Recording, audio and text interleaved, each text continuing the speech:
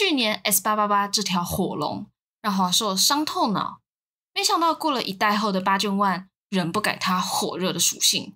好在有台积电代工的八 Plus 卷万跳出来救场，拯救身处水深火热的手机厂商们。有着台积电的加持，搭配华硕新推出的智能风扇后，注意是额外搭配的哦。ROG Phone 六是否还能维持安卓阵营的最强王者呢？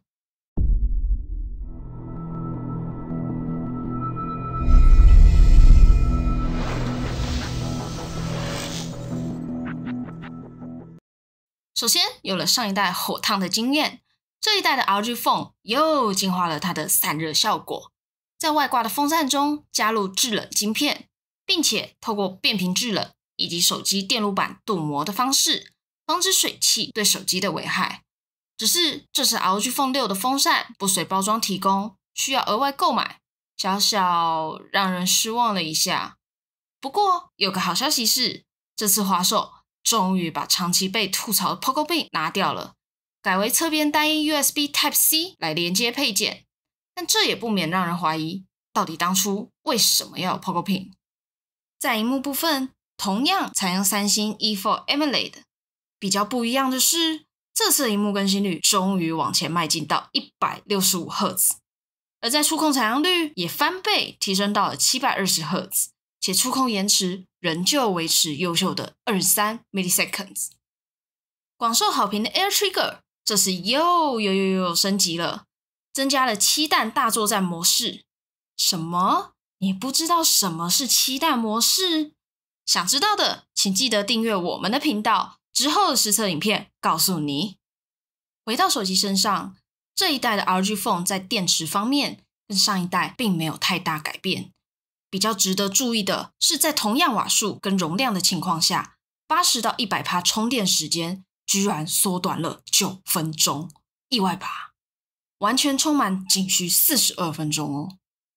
虽说身为电竞手机，趁机能扫 QR code 足矣，但 ROG Phone 六的相机相比以往有更加进步，主镜头搭载旗舰等级的五千万画素 IMX 七六六感光元件。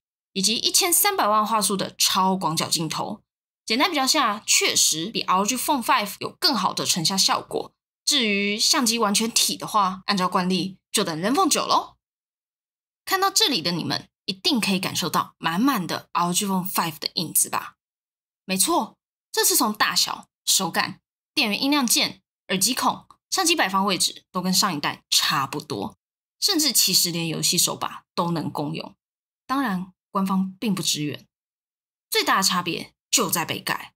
与上一代相比，败家之眼的占领区域缩减到了手机侧边，信仰感稍稍有点降低了。而这次 LG Phone 6 Pro 则延续了 5S Pro 的全彩 OLED，让玩家能够自定信仰灯。与以往不同，今年多了许多白色系的机身与配件，白色控的玩家们可以多多留意哦。老实说。ROG Phone 六和 ROG Phone 六 Pro 今年并没有带来太多的惊喜，主要的更新在于规格精进与细节调整。不过体验上的进步却是相当有感，这就要归功于高通这两年的搞笑。这年头，如果不是 ROG Phone 这种电竞手机，玩游戏过热那就会是家常便饭。而华硕今年透过巧妙选择的 SOC 与制冷风扇的加入，将危机化为转机。给玩家一个完整且完美的游戏体验。个人觉得 ROG Phone 六还是相当值得购买的。感谢你们收看。你喜欢华硕这次推出的 ROG Phone 六吗？还是你也像我一样希望华硕赶快公布 ZenFone 九呢？欢迎分享你的看法。那我们下次再见，拜。